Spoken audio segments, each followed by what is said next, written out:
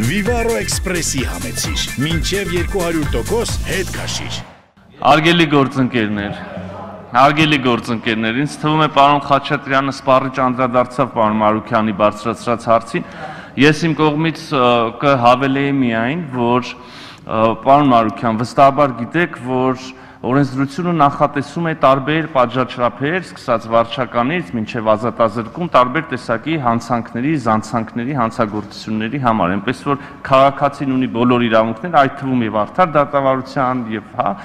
բայց այդպես է կյանքը, որ ինչ որ մարդիկ անում են զանցանքներ։ Դրա համար կա իրավապահ համակարգ, կա ոստիկանություն։ Եթե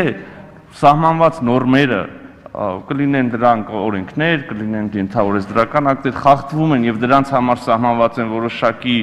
դուժանքներ կամ սանկցիաներ, ապա ոստիկանությունը պարտավոր է այդ իրականացնել։ Եթե դուք կարծում եք, որ առանձին դրվագներում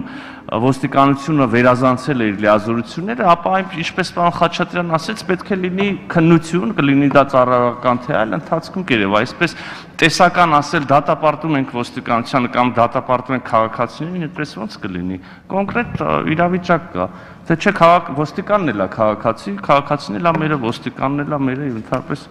սա մեր պետությունն է, մենք պետքա հարգենք սահմանված նորմերը եւ օրենքները։